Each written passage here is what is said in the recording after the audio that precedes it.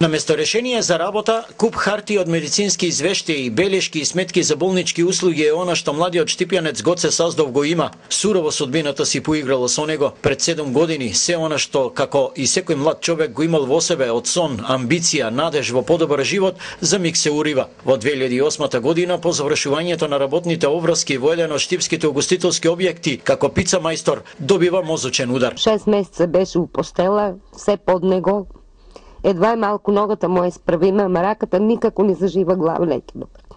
На терапија не можам да го испратам, со 3700 не можам да го испратам, на лекар не може да го однесам, контроли не можам да му направам се си тражат пари. Шокот и по 7 години се уште трае, вели мајката на Гоце, но и срамот од јавноста за трагедијата што ги снајде и ги фрли на дното од животот. Ова е главната причина зошто не сакаше низиниот лик денеска да се појави пред камера. Некогашната пеглачка од штипските конфекции неколку години е без работа, без пари и ничија помош. Во оваа куќерка со синот инвалид секој ден ги крепат се поголемите дупки на и онака крапениот живот. Работа тражам, никој не ми дава работа на мене.